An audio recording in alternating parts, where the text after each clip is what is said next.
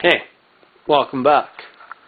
This time we're going to talk about some of the special modifications I've made to this bike.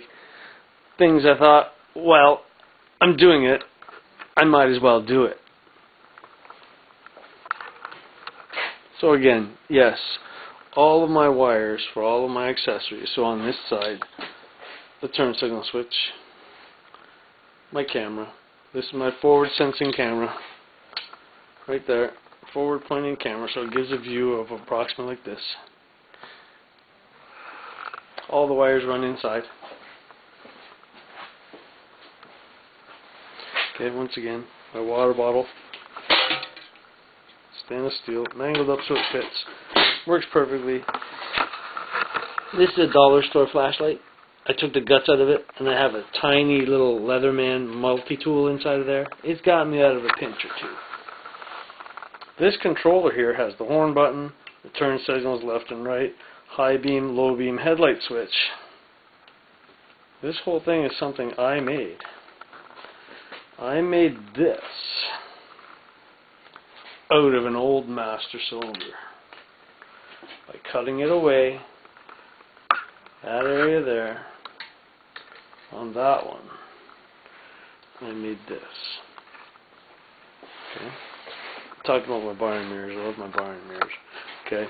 Um, alternator. High power alternator because nothing worse than not having a motorcycle that will start because you have to push it or ask somebody to push you. Very awkward and embarrassing. Ask me how I know that. Also to cover my butt I installed a voltmeter down there. I can always keep an eye on it. If it stops charging, I hustle home. My lower license plate mount bracket, nice and low, low enough. I get stopped by the cops enough. They uh, they love it. No, they don't. Too bad. My ignition key is under here. That's my camera. Comes on automatically.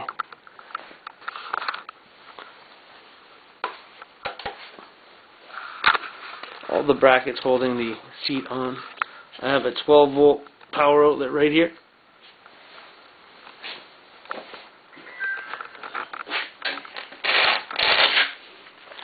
Under the seat.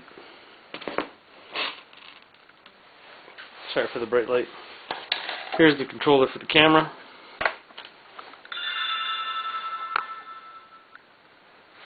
Alright, and then also under here Oops. I have a couple USB ports.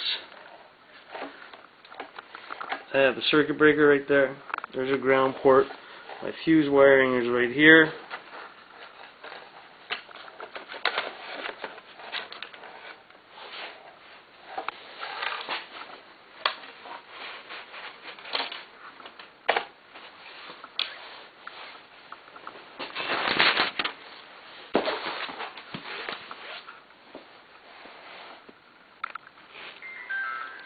That was the camera turning off.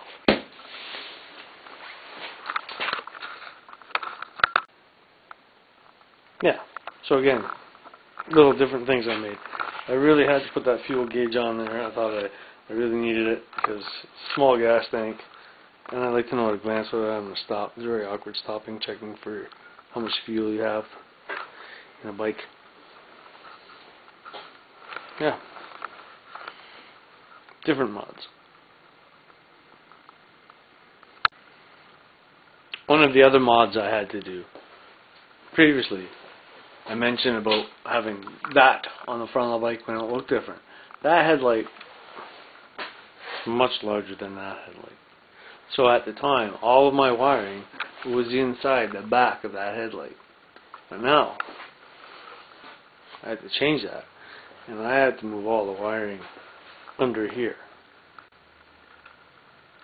Since all the wiring is under here, I had to make it fairly easy to get to the wiring if I ever had to do anything. So remove the seat, and there are those four bolts. I'll show you. Yeah, so it's not much to take this seat off. I just have these four bolts here. They come off in no time. Alright, just like I said, they come off in no time. I'll pop this cover off and take a look. There we are. Whoops. So underneath that seat, this is the big bracket I made to hold the seat on. And my tail light. Here's my rear facing camera. Yeah, you never know I had a rear on there too. Yes, sir. Good. Here's a common ground, so all my ground terminals go here. It's a little messy back here. I'd like to straighten this out a bit next time. Maybe wiring for the camera, a relay, uh, sorry, a circuit breaker for my main power. Here's my ignition switch right here. Here's my 12 volt power source. I have a toggle switch here that can be activated from underneath the bike, underneath the fender. Nobody knows it's there. Makes it nice and safe. Everybody's happy. Okay, here's the camera head. There's my two USB ports. There's a fuse there, there's a fuse there, there's a fuse there, and there's a fuse there. Everything's fused. Running up to the front.